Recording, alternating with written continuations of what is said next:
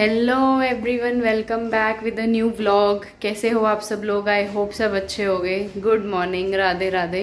तो गाइज़ आज का जो व्लॉग है, वो स्टार्ट हो रहा है सुबह के नौ बजे और अभी मैं किचन में जो है अपना काम करने के लिए आ गई हूँ। अयान तो जा चुका है स्कूल अपना जो डेली वाला रूटीन है, वो स्टार्ट हो चुका है. छुट्टियाँ हो गई हैं, ख़त्म. और अयान जा चुका है स्कूल उसके पापा ऊपर सो रहे हैं.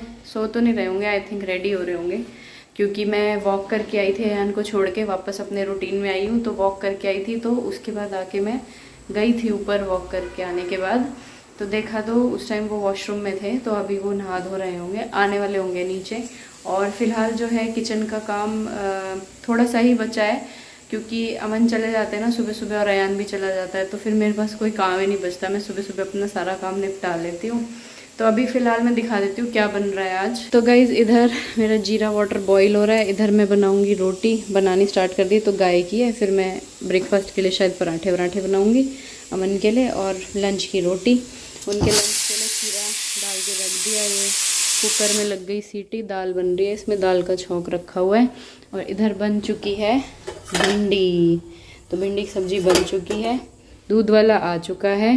ऑलमोस्ट सारे काम ख़त्म होने पे हैं तो फिर अभी इनको कर लेते हैं और फिर मिलते हैं आप लोगों से थोड़ी देर में। अमन तो चले गए हैं ऑफ़िस और आज सुबह सुबह है ना, एक ऐसी ट्रेजिडी हो गई है। मेरे को जिससे बहुत ज़्यादा डर लगता है ना, जो लोग मुझे बहुत अच्छे से जानते हैं, उनको पता है कि मुझे छिपकली से बहुत ही ज़्यादा डर लगता है बहुत ही ज़्यादा। डर कह सकते हैं उसको, या पता नहीं, मुझे ना थोड़ी गिलगिली सी लगती है मतलब ऐसे डर तो नहीं लगता पर मुझे ऐसा लगता है अगर ऊपर ऊपर गिर गई या जैसे भी है ना तो मुझे बड़ा अजीब सा लगता है। तो क्या है कि पीछे वाले रूम में आपको अगर यहाँ से दिखाऊँ तो पीछे अंधेरा दिख रहा हो और गेट का रूम बंद कर दिया मैंने कि इधर ना आ जाए। पीछे वाले रूम में, अयान वाले में, मैं सुबह सुबह गई अयान की ड्रेस लेने के लिए। प्रेस लेने गई कि प्रेस करूँगी तो वो रखी कॉर्नर में प्रेस, वो रखी हुई उधर वो ड्रेसिंग के बगल में। तो मैं इस रूम में नहीं लेके आती प्रेस को ना, मैं उसी रूम में करती हूँ। अब क्या हुआ, वहाँ मैं अंदर तो घुस गई रूम में, मैंने देखा, जहाँ से घुसी, यहाँ से ये वाला जो गेट है, यहाँ से घुसी, देखा इसके बगल वाली दीवार पे इतनी मोटी छिपकली और इतनी बड़ी। मैंने कहा, भाई, हो गया काम। मैं ना इसीलिए घर जाना, रुकना नहीं चाहती, अपने घर जाके, क्योंकि मुझे पता है, पीछे से ना, एक तो वापस आके सारा काम दोबारा से पूरा समेटो, पूरा घर फैला देते हैं हमारी पूरा घर। और पीछे वाले रूम का ना मुझे ये भी पता है कि वो मेड भी ध्यान नहीं देती तो छिपकली घुसा ही घुसा देती है हंड्रेड परसेंट क्योंकि पीछे वॉशिंग मशीन के पास रहती है छिपकली। अब जब मैं रहती हूँ ना तो मैं गेट बंद रखती हूँ, मैं नहीं खोलती इतनी देर के लिए बट वो आती है, वो अपनी मस्ती में काम करके चली जाती है, वो घुसा जाती है। मुझे पक्का लग रहा था कल जब मैं आई कि कहीं हो ना रूम में, पर मैंने रात में अंधेरे में देखा नहीं। और अब सुबह उठ के देखा तो वो दीवार पे, और फिर वो मेरे सामने सामने ऐसे करके ना, ऐसे फॉल सीलिंग में घुस गई अंदर। अब उस वो जब तक निकलेगी नहीं, मैं वॉक भी कराई, सब कराई, पर मेरे दिमाग में वही घूमती रही। अब यहाँ पे ऊपर आके मैंने अपने इस रूम का काम तो सारा ख़त्म कर लिया। अब देखो टॉवल यहीं सूख रहे हैं, ये बाहर सुखा के आने, पीछे सुखाती हूँ मैं, है? और इधर देखो, ये गंदे कपड़े रखे हुए हैं। ये भी मुझे पीछे डाल के आने, मुझे मशीन लगानी थी आज कि कपड़े काफ़ी सारे इकट्ठे होते। हैं अब कुछ भी नहीं हो पा रहा उस चक्कर में कि मैं पीछे जा ही नहीं पा रही, मुझे डर लग रहा है। तो मैं नीचे मम्मी को बोल के आई हूँ कि आप आ जाओ ऊपर, अपना काम करके नहाने गई हैं मम्मी शायद। मैंने कहा, ऊपर आ जाओ, वो जाला झाड़ने की लंबी सी स्टिक होती है ना, वो लेके आना फॉल सीलिंग में मारेंगे, उसको निकालेंगे बाहर, नहीं तो मैं काम नहीं कर सकती। जब तक वो रहेगी, मेरे दिमाग में यही घूमता रहेगा, अंदर ना आ जाए, मेरे रूम में ना, मेरे रूम में आ गई तो मेरे तो सोना भी दुभर हो जाएगा। अब बोल देंगे कई लोग कि भाई ऐसे क्या वो करना छिपकली तो है। पर जिसको लगता है, उसको लगता ही है। मुझे बहुत ज़्यादा लगता है। और मैंने देखा है लड़कियों को ज़्यादातर छिपकली से लगता है। मैं और कुछ भी आ जाए, कॉकरोच आ जाए, मकड़ी आ जाए, मुझे कोई फ़र्क नहीं पड़ता। मैं झाड़ू लेके खुद भगा देती हूँ। लेकिन छिपकली तो मुझे बहुत ज़्यादा घिन आती है। भगवान प्लीज़ उसको बाहर निकलवा देना। वो आ जाए, बस बाहर दिख जाए, एक बार तो मम्मी अपने आप निकाल देंगी, फिर मम्मी एक्सपर्ट है निकालने में खूब ढूंढ ली नहीं मिली छिपकली कहीं भी। पता नहीं कहाँ चली गई, धरती में समा गई या आसमान निकल गया, समझ ही नहीं आई। मैंने देखी वो घुसती हुई फॉल सीलिंग में और अब मम्मी ने फॉल सीलिंग पूरी झाड़ के देख ली, कहीं नहीं दिख रही वो। अब मैं तो वो कमरे का गेट बंद करके और उसमें लगाया ही मैट लगाया ही वहाँ पे। एक घंटा हो गया, सही एक घंटा उसको ढूंढते ढूंढते। मशीन चलाए, अब जहाँ होगी ठीक है, मिलेगी तो ठीक है, नहीं मिलेगी तो ठीक है। मम्मी कह रही, बाहर चली गई। मैं हंड्रेड परसेंट श्योर वो बाहर जा ही नहीं सकती। मैंने सारे जुगाड़ कर रखे हैं कि वो अंदर ना घुसे। तो वो अंदर नहीं घुस सकती तो बाहर कैसे निकल जाएगी वो? मुझे तो पक्का पता है, वो है घर के अंदर ही। अब वो उसी कमरे में रह जाए, मुझे कोई दिक्कत नहीं है। इस कमरे में नहीं आनी चाहिए। गईज इतनी देर से लड़का टीवी देख रहा था, तब से एक बार नहीं रोया, एक बार भी। और जैसे ही ये होमवर्क लेके बैठता है बुक्स लेके बैठता है इसका रोना निकल जाता है। क्यों भाई? तेरे से पूछ रही हूँ मैं। अच्छा अभी बताऊँगी दूसरी नोटबुक का करवाऊँगी तब ओवर एक्टिंग करके दिखा रहे हो। एन ऐसे काम नहीं चलेगा बेटा अगर पढ़ाई नहीं करोगे तो बिल्कुल काम नहीं चलेगा पढ़ाई तो करनी पड़ेगी। मैथ्स मैथ्स को तो आप अपना फेवरेट सब्जेक्ट बताते हो फिर क्यों रो रहे हो। अभी तेरी शक्ल ही बता रही है कोई भी देखने वाला बता देगा रो रहा है कि नहीं रो रहा। रोने रोने जैसी शक्ल हो रही है ना, वो छुपाने के लिए जाएगी जो आप एक्टिंग कर रहे हो। बेटा this is very bad Ayaan अगर आप खेलते हो, आपको लगता है कि बस यही लाइफ होती है, पूरे दिन आओ टीवी देखो, खेलो और हो गया ख़त्म। है ना? ये तो लगता ही नहीं कि पढ़ाई भी करनी होती है। चलो दूसरी नोटबुक निकालो, हो गया इसका। तो गाइज़ इवनिंग हो गई है और आ गए हैं वापस किचन में अपना काम करने के लिए। दिन में मैं सो गई थी, इसलिए कुछ भी शूट नहीं करा। दिन में अयान जब तक आया तब तक मैं सो रही थी।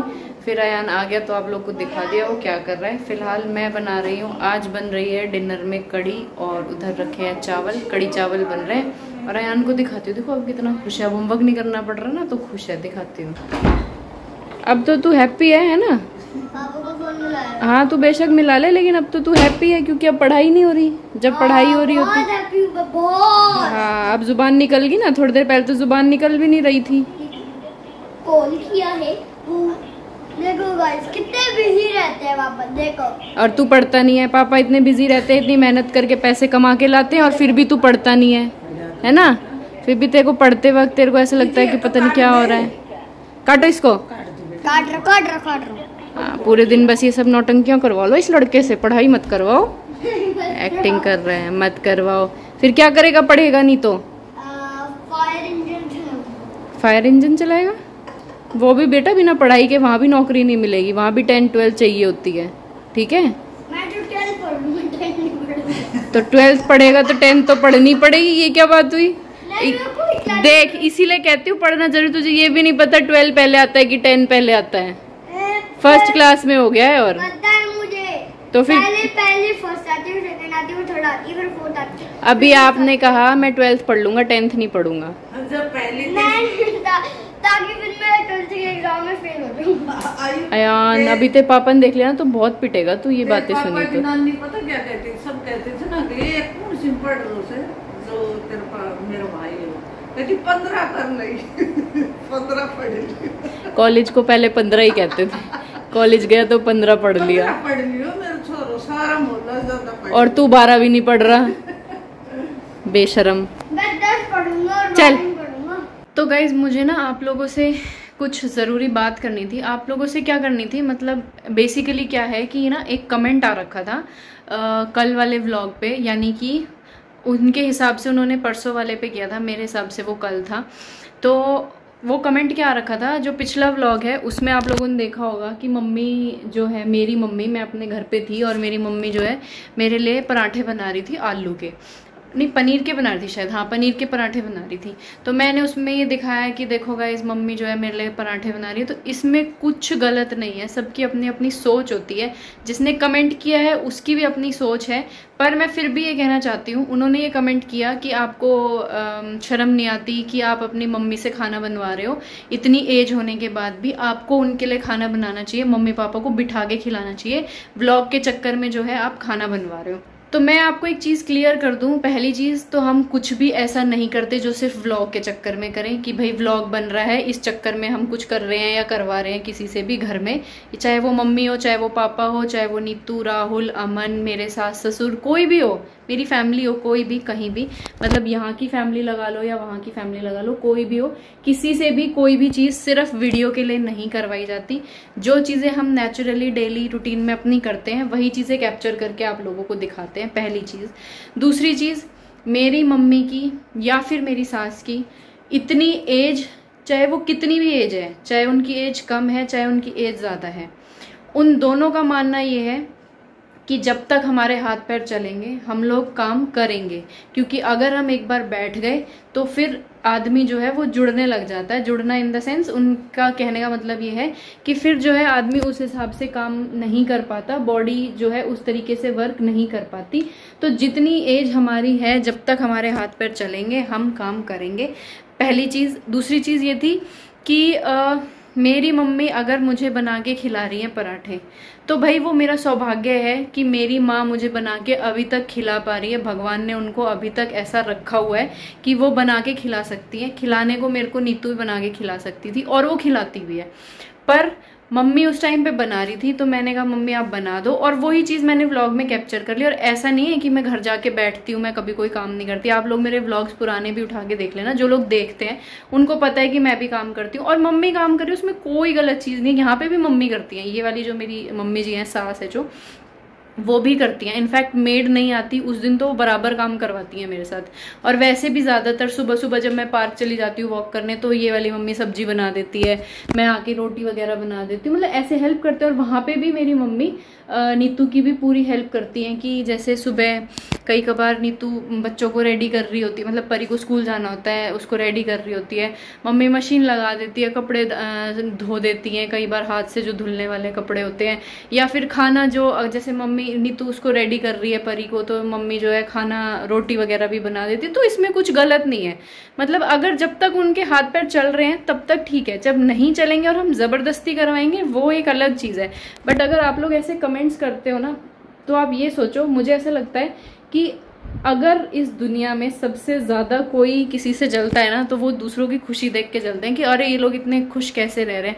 और मैं कभी भी ना कमेंट्स कैसे रिप्लाई नहीं करती बट ये रिप्लाई देना बहुत ज़रूरी था, क्योंकि मुझे लगता है मेरे बहुत सारे ना, मेरे इंस्टाग्राम पे भी बहुत सारे कमेंट्स ऐसे आते हैं जिनको मैं इग्नोर कर देती हूँ। मैं सोचती हूँ, ठीक है ना, सबकी अपनी अपनी सोच है। सब अपने हिसाब से सोचते हैं। जो हमें ठीक लगता है, वो हम करते हैं और आप लोगों को दिखाते भी हैं। तो अगर मम्मी थोड़ी बहुत हेल्प करती हैं किसी की भी, मैं अपनी दोनों मम्मी की बात नहीं कर रही, किसी की भी मम्मी की बात कर रही हूँ, क्योंकि मैं जो है ना, हाथ दुखने लग गया। मैं जो है ना इंस्टाग्राम पे भी देखती हूँ, बहुत सारी रील्स वीडियो शॉर्ट्स ऐसे आते हैं, जिनमें अगर किसी की सास किसी अपनी बहू की हेल्प कर रही होती ना, अरे तुम्हें शर्म नहीं आती? तुम अपनी सास से काम करवाती हो, तुम जवान हो, वो बूढ़ी हो। अरे भाई, अपनी मर्ज़ी से करता है, जो कोई भी करता है, किसी से ज़बरदस्ती आप काम नहीं करवा सकते।